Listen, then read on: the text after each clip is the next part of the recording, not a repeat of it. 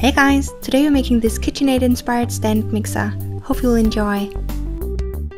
I first made a sketch to get an idea of the size, then drew a stencil for the top and one for the bottom.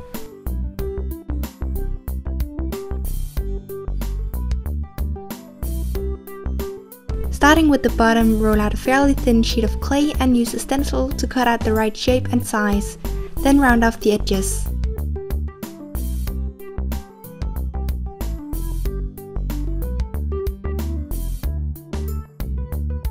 Stack a few thicker sheets of clay and cut out a rectangle. This is going to form the stand.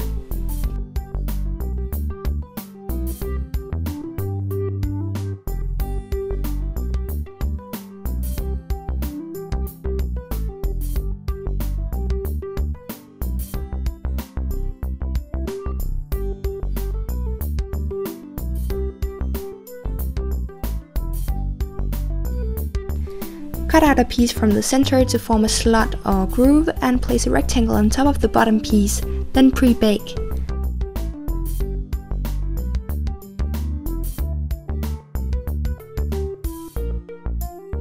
After pre-baking I used a file to even out the shape.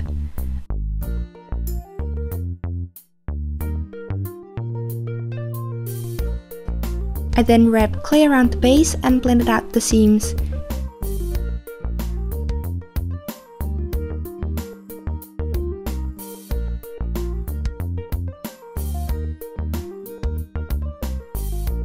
You also want to add a small piece to cover the front of the groove that you cut before.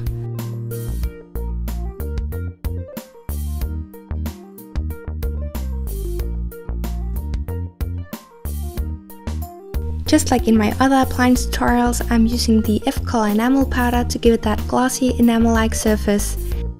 If you don't have this, just use your normal glaze to make it shiny when it's done.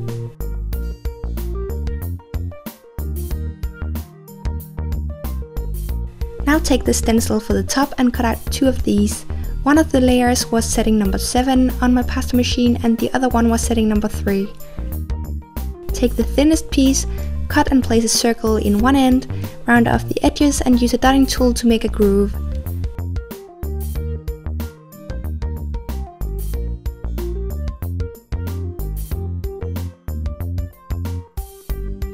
Then place a small piece in the opposite end and cut to fit.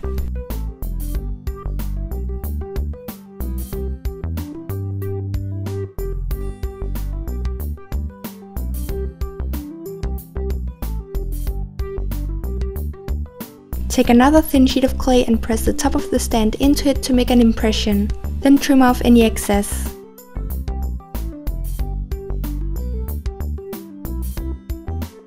Place this on top, then take another small sheet of clay, use a needle tool to make a hole, trim off the excess and attach this to the center of the previous piece.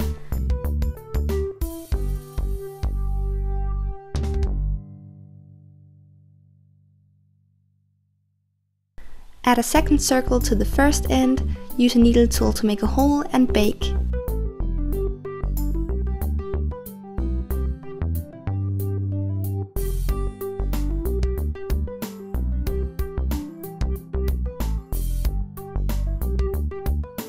Now roll out a log in about the same thickness as the other two pieces, trim and cut it like shown in the video, then put it on top of the second piece from before.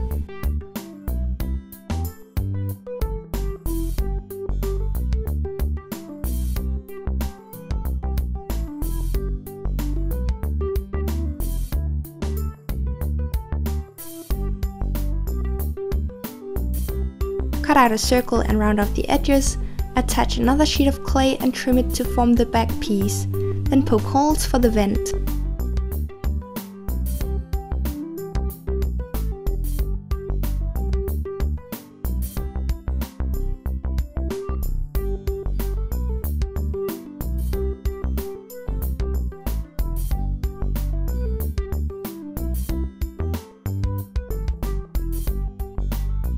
After baking the rest of the pieces, I added the Efcolor enamel powder.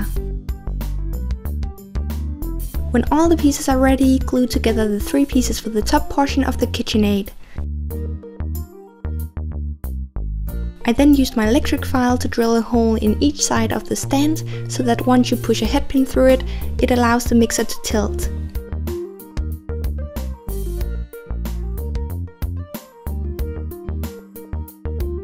Cut off the excess wire from the head pin and add a dab of glue to each side. To make the mixing part itself, I cut and bent some wire in 0.8 and 0.4 millimeter.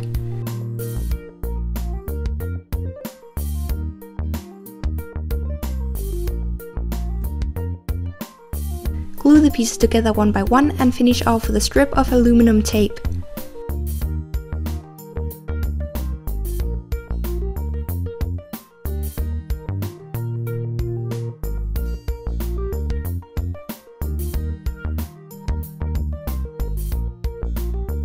Finally make the kind of decorative bits and pieces.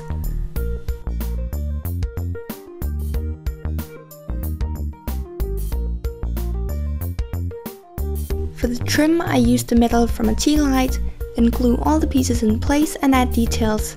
I used silver colored alcohol ink and black acrylic paint.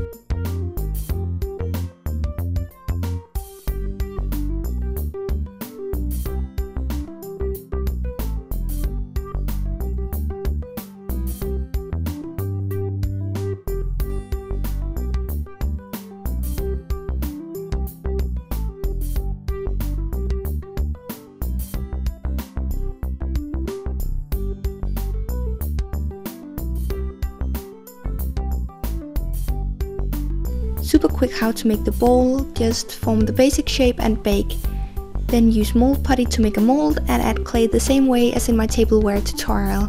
After pre-baking, I took it out of the mold, painted the inside and added a mix of solid clay and liquid clay, then baked again. After baking, I painted the outside of the bowl, seal all the painted details with glaze and you're done.